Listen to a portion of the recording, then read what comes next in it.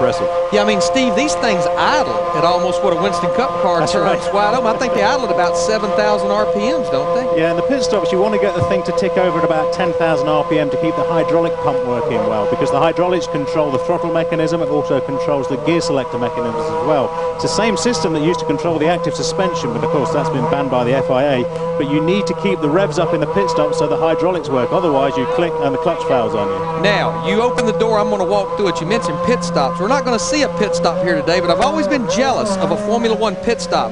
When we have a Winston Cup pit stop, we have seven guys, no more. At a Formula One pit stop, it looks like a large family reunion when they go to service that car. Uh, an average of about 17 people, 17 Only to 17? 17 to 18 Get people outta take here. part. You got to practice just to stay out of each other's way on a Formula One pit stop.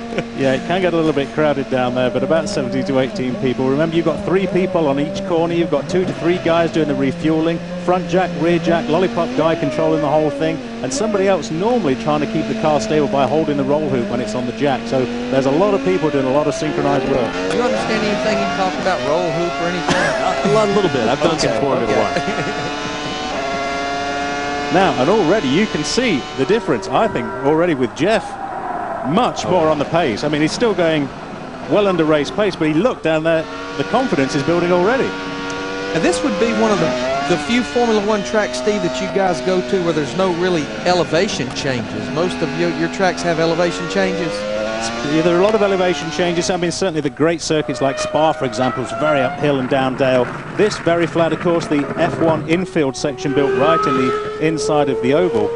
But technically speaking, I find this track a lot of fun because you've got that great contrast between the long straightaway section that you just saw now and as we come to the end of the short back straight, the Hulman Boulevard, now back into the tight infield section again. So there Whoops. is your classic example of what you do when you come off the straight to set the car up for the tight infield section. You've got to get the downforce on the car to make the car stick to the track going round the, t- round the corners.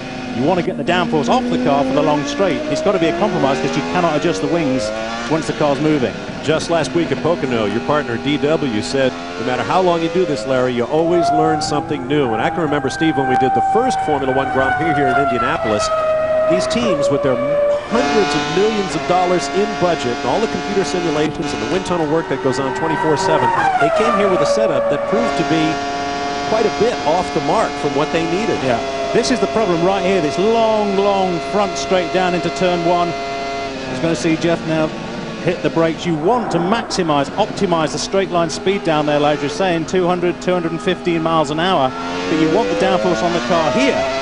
So what do you do? You've got to compromise. Well, Ferrari found that they were going faster, Bob, in that first race by taking wing off the car, mm-hmm. maximizing that straight speed down the straight. BAR found they were working exactly the opposite direction. Villeneuve saying the more wing we put on, the more stable the car became. The lap time dropped again. So right, different ends of the spectrum. Seeing a little vibration from our onboard cameras. We're not using the FIA, well, we're using their mounts, but we have our own onboard cameras, and you can see that vibration from these incredible engine revs. That's probably pretty much what the driver's eyeballs are doing as well. Let's get down to Ralph Sheheen. Well, we're down here with Juan Montoya, who's got some of uh, Jeff Gordon's crew behind him here. You're watching on the big screen. What do you think, Juan? It's really good. I mean, I gotta say, I'm pretty impressed. You know, to get, you know, he's in the pace pretty quickly, and you know, the cars are pretty tough to drive, and he looks quite comfortable in it. It's really amazing. You know, I've never been in a Formula One car, and he's doing really good. We saw him go off in the one corner, and, and the guys in the booth were talking about how difficult it is to figure out the turning areas of the racetrack and how to set the car up for that. How difficult is it to, when you first get in the car, to acclimatize yourself to that and to the racetrack itself, as we're seeing with Jeff?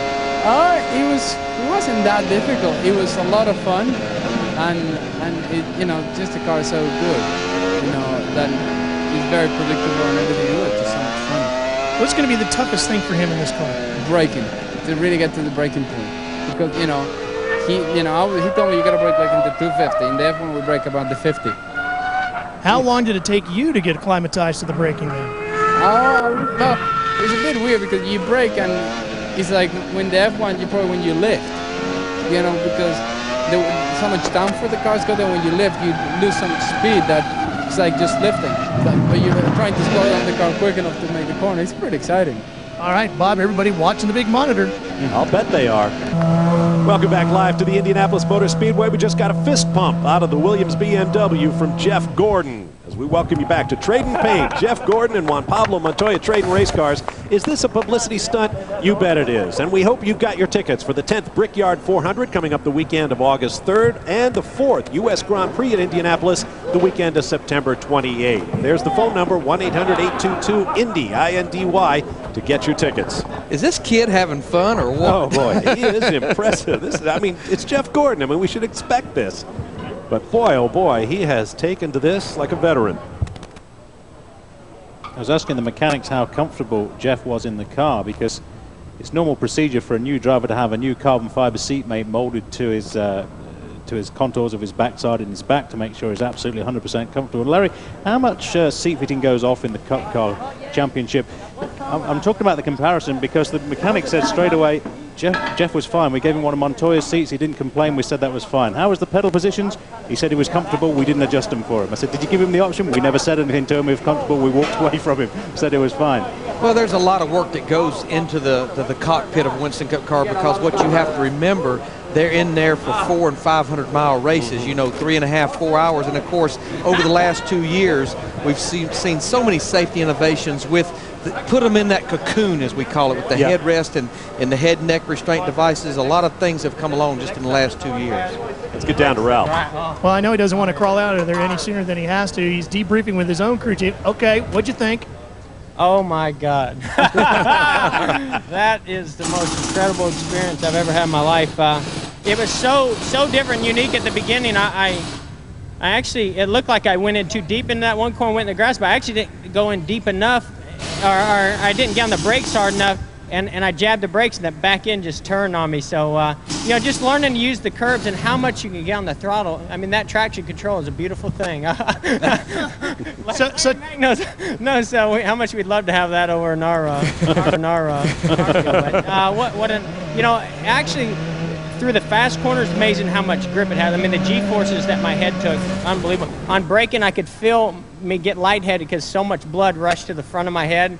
I'd never experienced that before, but you know, when you learn how the traction control works, you can just in the throttle so hard. And the only other problem I had is that, you know, they tricked me. They've, they've got it where it automatically goes up in gear, but I have to manually do it down in gear. So I'm so used to it going up in gears, I'd like, oh, I forgot I got a downshift.